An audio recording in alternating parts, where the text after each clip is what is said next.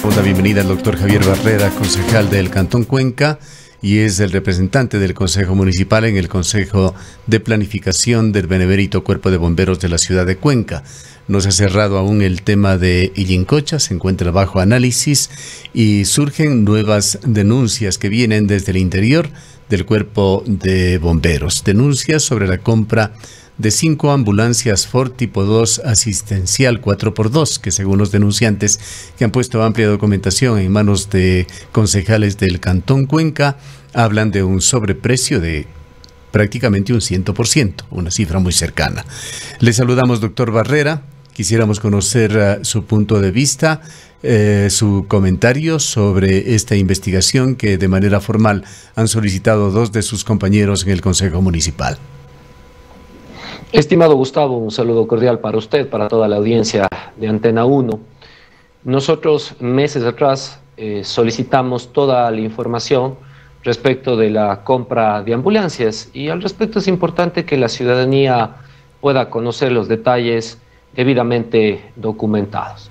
Recordemos que para la adquisición de estas ambulancias se agotó la producción nacional, es decir, eh, que se levantó un proceso a nivel de proveedores nacionales. Eh, sin embargo, ninguno cumplió con las especificaciones técnicas.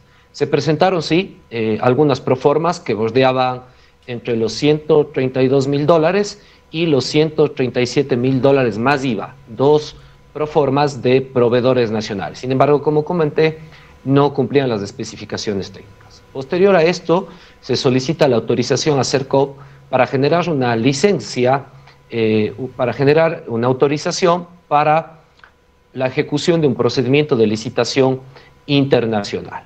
Ah, en esta licitación internacional se recibe una proforma de la empresa que usted hace mención y entiendo que es eh, la proforma con la cual se hace la denuncia eh, por parte de algunos ciudadanos. Nosotros, previo a, este, a esta denuncia desde hace meses atrás, como le comentaba, en el Comité de Administración y Planificación, ya tocamos este tema.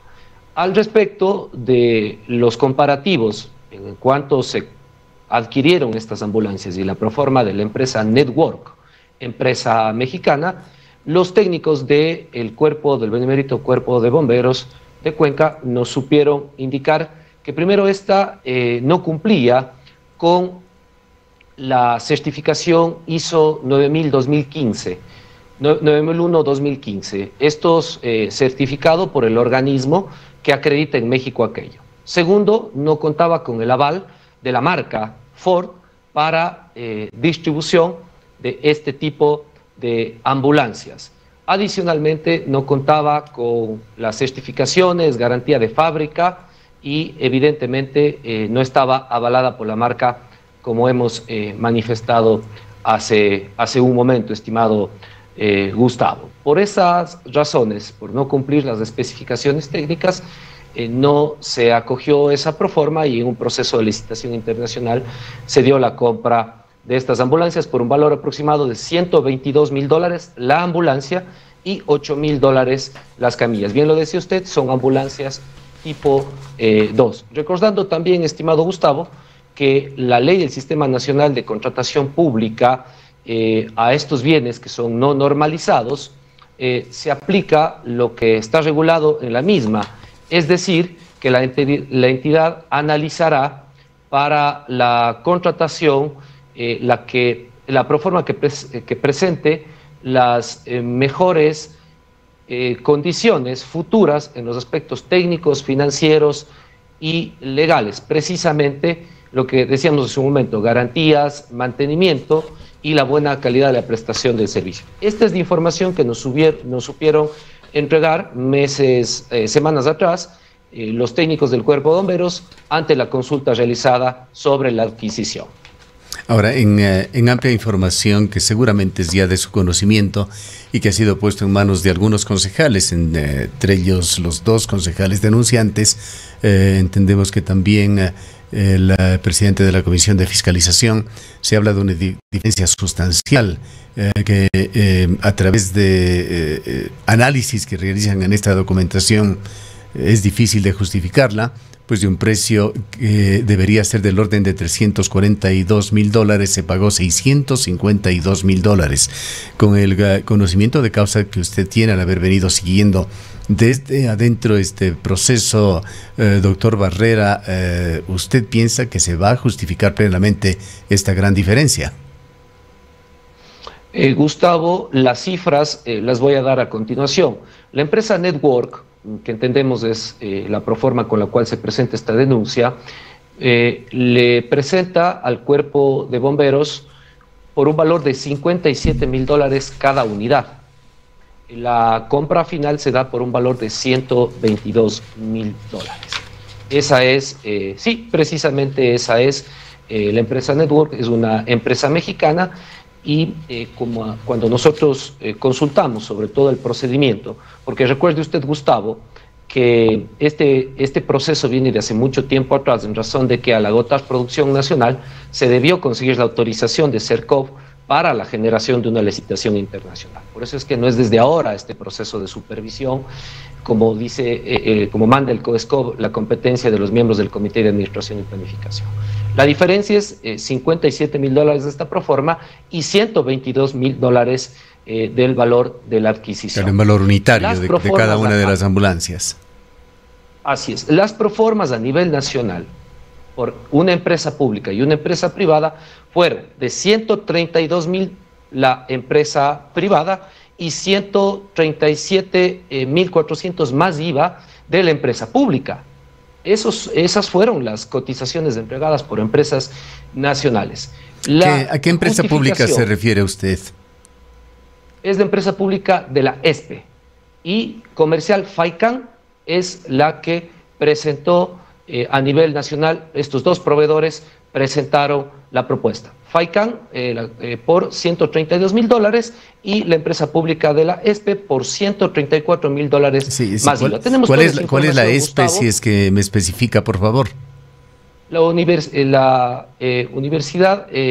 ¿Politécnica quizá? la Escuela Politécnica Nacional. La Escuela Politécnica Nacional en asociación, tenemos con una asociación pública-privada, presentaron esta, estas proformas. La justificación dada por los técnicos de el Benemérito Cuerpo de Bomberos ha sido que técnicamente la oferta de 57 mil dólares, la proforma, no cumplía con las especificaciones, no contaba con las garantías, no contaba con el aval del fabricante Ford, eh, no contaba con la certificación ISO 9001-2015, tenía solamente una certificación ISO 9001 2008. Eh, Toda esa documentación nosotros la tenemos en archivo, estimado Gustavo, y como le he comentado, esto es un tema que nosotros ya lo supervisamos desde hace meses atrás. se debería entender, doctor Barrera, se debería entender que esa oferta por aproximadamente el 50% era inviable, no, no, no podía darse, le faltaban certificados elementales básicos, ese sería el principal argumento para no haberla acogido. Efectivamente, estimado Gustavo, porque no garantizaba el mantenimiento, eh, no garantizaba eh, precisamente contar con la buena prestación y la calidad del servicio, tampoco había la, garantía luego de, la distribución de los, de los repuestos y había un riesgo de pérdida de garantía al no contar con el aval del fabricante, que es la marca Ford. Esa, esa es la información. Pero de cualquier manera, doctor Barrera, y perdóneme que sea repetitivo en esto, eh, estos ah, certificados, uh, esta, este certificado de representación, de garantías, justifican una duplicación en el valor. Son las explicaciones que nos han presentado los técnicos de bomberos, como le comentaba, nosotros lo que siempre venimos sugiriendo en el Comité de Administración y Planificación es que luego de todos estos procesos se curse un oficio a la Contraloría General del Estado, a la Dirección Provincial, con el, con el objetivo de que se practiquen las respectivas auditorías. Entendemos que el jefe de cuerpo de bomberos así lo ha hecho en, en el transcurso de, de estos de estos días. Recuerde usted que la propia ley del Sistema Nacional de Contratación pública establece que deberá aceptarse cuando son bienes no eh, normalizados la proforma que ofrezca o la oferta que ofrezca las eh, mejores condiciones futuras en cuanto a todas las especificaciones técnicas que nosotros hemos manifestado. Estimado Gustavo, no soy yo quien para justificar de ninguna manera una compra, está absolutamente amparado en norma la fiscalización que están haciendo mis compañeros concejales, yo simplemente estoy dando cuenta de la información que nosotros la requerimos hace un tiempo atrás y eh, informando, transmitiendo esta información a la ciudadanía. Paralelamente con esto, doctor Barrera, eh, los denunciantes eh, sugieren de que hay proveedores, un círculo de proveedores que colusionan con la entidad, que tienen una acción concertada, algo similar a lo que ha sucedido con algunas empresas en otro caso, el caso de los hospitales en la provincia de, del Guayas. Le preguntamos esto, pues usted es el representante ciudadano ante este Consejo de Administración del Benemérito Cuerpo de Bomberos. Eh, de acuerdo a lo que usted conoce, a las sesiones secuenciales que, que tendrán, doctor Barrera, eh, ¿usted eh, tiene plena confianza en lo que se viene haciendo dentro del Benemérito Cuerpo de Bomberos de Cuenca en cuanto a adquisiciones? ¿Qué tipo de labor de fiscalización, de auditoría realiza usted en representación de los ciudadanos? Constantemente, Gustavo, estamos solicitando información para que efectivamente podamos revisar con la documentación, ejerciendo una supervisión responsable frente a los actos de la administración. Yo no puedo de ninguna manera, Gustavo, asumir una responsabilidad que es administrativa. Nuestro rol es de supervisión como miembros del comité y de fiscalización como concejales del Cantón Cuenca. Ante cualquier tipo de adquisición, nosotros no podemos dar el aval sin hacer el proceso eh, que he comentado y sin solicitar la información respectiva. Adicionalmente, eh, la sugerencia que siempre hemos generado la de cursar los oficios correspondientes para que la Contraloría efectúe las auditorías correspondientes. Debo comentarle que la empresa ganadora es una empresa mexicana y la otra empresa que presentó la proforma también es una empresa eh, mexicana. Evidentemente los valores son absolutamente distantes en cuanto a la oferta económica, sin embargo, eh, ratificado por los técnicos de bomberos en la oferta técnica no cumplía la eh, proforma con la cual se hace, entendemos, la respectiva denuncia. Eh, vayamos con el otro tema, doctor Barrera, el de Yincocha. ¿En qué punto se encuentra? De acuerdo con ah, un informe emitido por el Ministerio del Ambiente, el Ministerio del Ambiente intenta justificar todo lo realizado y deja con la sensación de que el proyecto continuará y de que seguirá adelante, pero entendemos que se han abierto eh, algunos frentes de investigación de la corrección de procedimientos seguidos hasta el momento en este proyecto en Illincocha. Gustavo, yo quiero agradecerle a usted por, por el espacio y por su trabajo investigativo. El control social, el control de la ciudadanía siempre será bienvenido. Nuestro rol es de informar de manera responsable y documentada a la ciudadanía y me había comprometido con usted y con eh, la audiencia de Antena 1 eh, indicarles fechas, indicarles eh, la documentación correspondiente a este proyecto. Este proyecto inicia en el mes de abril del año 2015, Gustavo, y contó con el conocimiento de absolutamente todas las instituciones. El Ministerio del Ambiente es quien en el año 2018 firma un comodato con el Benemérito Cuerpo de Bomberos, la empresa Etapa, quien a través de su sugerencia de gestión ambiental y de la administración, de la administración del Parque Nacional El Cajas, emitió el informe de factibilidad el primero de noviembre del 2017. Fíjese usted, Gustavo. Además, y ciudadanía, además recuerden ustedes que hay el principio, ¿no es cierto?, el principio de continuidad de la personería jurídica. Por más que esos servidores ya no estén en la institución, no han sido revocados, si no han sido esos informes, se mantienen eh, vigentes. En ese aspecto, eh, Gustavo, quiero también comentar que yo fui parte del Consejo Cantonal anterior, pero del año 2019 se genera el cambio del uso del suelo con informe de la Comisión de Urbanismo, con informe técnico de la Dirección de Planificación, adjunto o documento habilitante el comodato, que en su parte principal, Gustavo, permítame decirle en su cláusula cuarta, establece que sobre las edificaciones, exclusivamente sobre las edificaciones ya existentes, se, generará una readecuación estructural. El área propuesta excluye las zonas de conservación. El Consejo Cantonal toma esta resolución en el marco de sus competencias, pues el propio plan de ordenamiento territorial clasifica en función de los niveles de uso del suelo categorías de ordenación a las cuales se asignan uso y actividades principales, eh, compatibles, condicionadas y condicionados con fuertes restricciones, como fue la aprobación del Consejo Cantonal en el año 2019. ¿Cuáles son los justificativos, Gustavo, para la firma de este comodato? Según reza en una de sus cláusulas. Primero, la atención a los constantes incendios forestales. Desde el año 2009 hasta el 2017 se hace una cuantificación de 1.551 hectáreas afectadas. Segundo, la, la, pérdida o eh, cuando se generan eh, visitas eh, de turistas y las, los constantes extravíos en la zona. Y tercero, la atención a los accidentes de tránsito que se presentan en la misma. Con base a estos antecedentes técnicos legales, el Consejo Cantonal resuelve el cambio del uso del suelo exclusivamente, Gustavo, con el ánimo de mitigar impactos ambientales ocasionados precisamente por actividades antrópicas como son los incendios forestales que puedan afectar a la vegetación nativa. Este es el proceso de antecedente previo, Gustavo. Esto demuestra que todas las instituciones estuvieron en pleno conocimiento de este proceso. Hoy se encuentra suspendida provisionalmente, esta construcción, no porque hay un informe técnico científico en materia ambiental.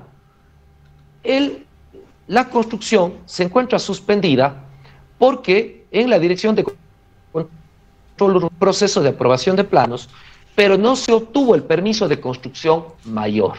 Esa es la razón por la que la construcción se encuentra suspendida el día de hoy. Luego, el 21 de julio de, este año, se emite ya un primer informe por parte de la empresa Etapa. El 21 de julio, luego de la suspensión provisional dictada por la Dirección de Control Urbano. Esa es eh, la, real eh, situación, Gustavo, de este tema. Hemos mantenido tres reuniones, una del Comité de Administración y Planificación, solicitada por quien les habla, otra como miembro de la Comisión de Medio Ambiente, de Ambiente y otra eh, que conocimos también fue en la Comisión de, de Fiscalización, en la cual técnicos del MAE justificaron plenamente todos los procesos. Y además, un dato adicional, Gustavo, para el Ministerio del Ambiente se trata de una intervención menor que requiere solamente certificación ambiental. Por otro lado, tenemos un informe de control urbano, ya hemos manifestado, donde no se obtiene el, permiso de construcción, la licencia de construcción mayor, y ya existe un informe eh, notificado el 21 de julio, técnico-científico por parte de la empresa Etapa eh, y de la Administración del Parque Nacional El Cajas. Bueno, justamente sobre esta amplia documentación que usted señala, hay muchas observaciones, doctor Barrera. Eh, empecemos por el certificado ambiental que de acuerdo con ah, una de las ah, líderes de este movimiento de mantenimiento por el Cajas, se lo da solamente para proyectos que no son sensibles ambientalmente, que jamás podían haberse dado para el Parque Nacional del Cajas, que, que tiene una serie de, características ah, eh, que legalmente llaman a su protección la acción justamente de la empresa municipal Etapa, en la cual se han dejado las principales responsabilidades. Eh, eh, esta certificación ambiental que el ministerio lo considera suficiente, eh, lo justifica su representante aquí en la provincia de la Suay, señalando que para la refacción de un inmueble no se requiere, pero usted conoce plenamente que no se trata de una refacción, que es una construcción que no está sobre los 300 y pico de metros cuadrados de la vieja construcción, es un proyecto de más del doble de metros cuadrados, entonces la refacción eh, se convierte simplemente en un justificativo. Adicionalmente, el contrato de comodato nuevamente dado por eh, el Ministerio del Ambiente en forma muy clara y específica, usted debe haberlo revisado, habla de que se deberá eh, realizar el proyecto exclusivamente en esa vieja construcción, cosa que nuevamente no se la cumple y el eh, contrato de comodato a 50 años señala clarísimamente de que si no se cumple con el contrato, con todas sus condiciones, con el contrato de comodato, eh, este no podrá continuar y, tendría que, que dárselo de baja etapa, por otra parte, en el eh, transcurso de, todo este proceso, que bien lo señala usted, se inició en el 2015, en por lo menos dos ocasiones en distintos departamentos, condiciona la continuación del proyecto al cumplimiento de varias situaciones, entre ellas la realización de estudios de impactos ambientales que nunca lo realiza el benemérito cuerpo de bomberos. Y lo último, eh, que le estoy dando solamente lo más relevante, más allá de hechos ah, muy delicados que se han dado con ese inicio arbitrario de la construcción. Lo último es el haberlo hecho sin un permiso de construcción, que nuevamente basado en, ah, tendríamos que decirlo, sofismas que se arman, se ha ah, señalado de que no se requiere un permiso de construcción. Entonces nos preguntamos, ¿cómo es que para cada eh, construcción, para cada intervención que se ha pretendido hacer en los últimos años y que se ha convertido en un tema de carácter público también por lo delicado, por lo polémico de estas, ha surgido el propio municipio, la propia empresa Etapa, la, eh, dirección eh, eh, de fiscalización del municipio de Cuenca, etcétera, exigiendo los permisos y en muchos casos prohibiendo construcciones que se realizaban allí. ¿Cómo se llegó a esta excepción? Para, según usted señala, se dé el caso de que no se requiere permiso de construcción allí en esa zona. Todos estos son eh, algunos, porque no estamos mencionándolos todos, sería muy, muy largo de hacerlo, de los cuestionamientos que se han dado con respecto a este proyecto. ¿Cómo se lo está ventilando? ¿Cómo se van a llegar a salidas y a conclusiones que esperamos? No sea lo que señala el Ministerio del Ambiente, que sugiere simplemente que se deben subsanar eh, un par de cosas y continuar adelante con el proyecto.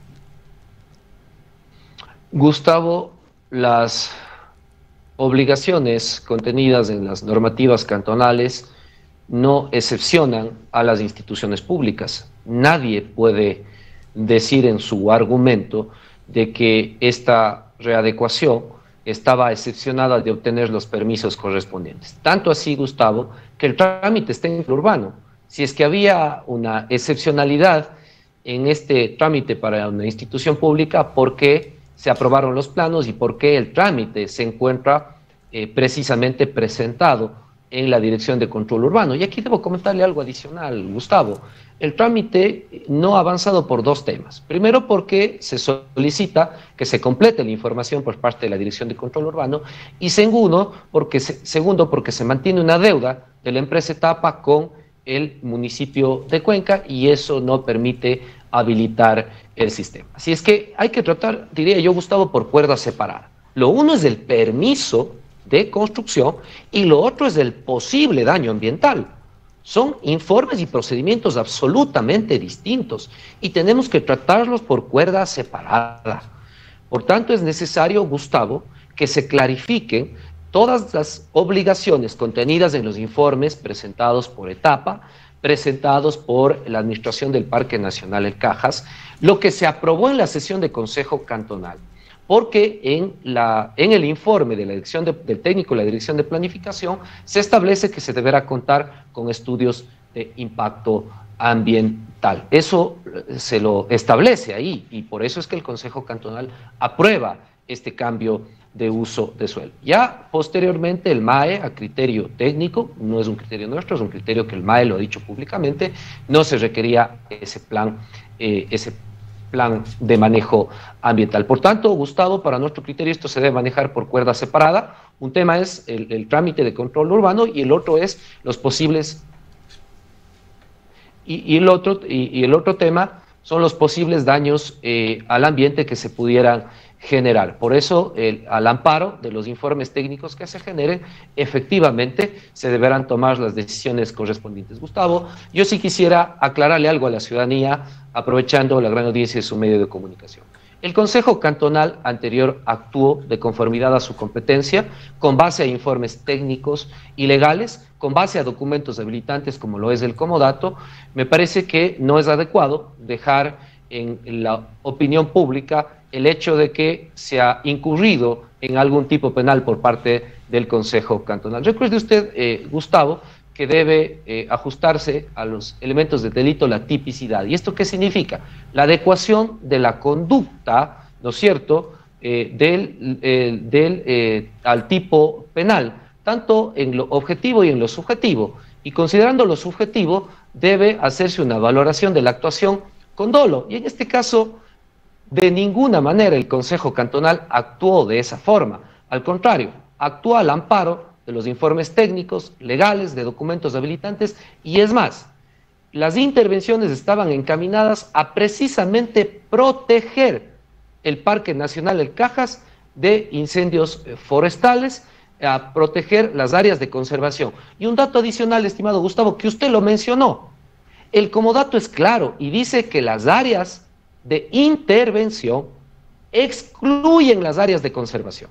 Excluyen las áreas de conservación solamente se intervendrán en readecuación, en reestructuración, las edificaciones ya construidas. Y estas edificaciones, Gustavo, evidentemente eh, no deberán generar ningún impacto en la zona. Para ello, el propio Comodato dice que se coordinará con la Administración del Parque Nacional, el Cajas, y con el propio Ministerio del Ambiente. Bien, eh, quisiera nada más señalar e insistir, concejal Barrera, y esto lo acaba de enviar a través de las redes sociales Viviana Cordero, la abogada que se encuentra en la contraparte cuestionando este proyecto de que la obra se encuentra precisamente suspendida porque no hay informes técnicos ambientales que son un requisito indispensable para un proyecto de esta naturaleza en un parque nacional y que ninguna actividad dentro de un área nacional protegida de primera categoría como es el Parque Nacional El Cajas puede requerir solamente un certificado del Ministerio del Ambiente allí. Hay una aberración en la interpretación incluso de la ley por parte del Ministerio del Ambiente que ha decidido sostenerse en eh, esa situación cuando allí mismo hay una contradicción, pues se señala que esta falta de requerimiento es porque se trata de una restauración de un área, pero en realidad se trata de una construcción que duplica el área. Cualquier comentario final, bienvenido, aunque estamos ya sobre el tiempo, agradeciéndole por habernos atendido, concejal Barrera. Gustavo, eh, Precisamente eh, Viviana, quien conocemos, se ha comunicado también con nosotros, nos va a hacer llegar toda la documentación. Insistimos, bienvenido todo ese control social. Yo le puedo informar a usted y a la ciudadanía que consultado al director de control urbano, él nos ha manifestado que la suspensión temporal de la construcción ha sido por la no obtención del permiso de construcción mayor. Luego sí se han derivado ya informes técnicos científicos de la empresa Etapa. Más allá de esto, Gustavo, esto es un tema que se debe abordar por cuerda separada, un tema eh, y un procedimiento es la obtención de un permiso y otros eh, los posibles daños ambientales. Bienvenida toda la documentación que sea correspondiente al caso. Nosotros informamos de conformidad a la documentación que se nos ha hecho llegar y la que contábamos en nuestros archivos. Así es que, estimado Gustavo, estaremos vigilantes y atentos a estos dos eh, procesos. Insisto, la fiscalización eh, es un proceso que no debe agotarse jamás y adicionalmente, si esto viene acompañado del control social, del apoyo ciudadano, eh, fortalece la acción de supervisión y fiscalización que tenemos los concejales. Bien, cabe señalar también que, que TAPA tiene un papel fundamental aquí y hay, como usted ha señalado, un estudio técnico científico eh, de etapa con ah, un primer informe negativo que se dio a conocer la semana pasada en la sesión de la Comisión de Fiscalización, que dice textualmente con la recomendación de que mientras no exista un estudio de evaluación de impactos ambientales debidamente aprobado y socializado con las partes involucradas y la sociedad, no se continúe con la ejecución de la obra. Es decir, es, muy claro, no hace falta repetirlo. Etapa tiene exigencias que tienen que ser superadas si es que se pretende seguir adelante con este proyecto y ellos el estudio de impactos ambientales socializado. Gracias a, a la concejal Javier Barrera.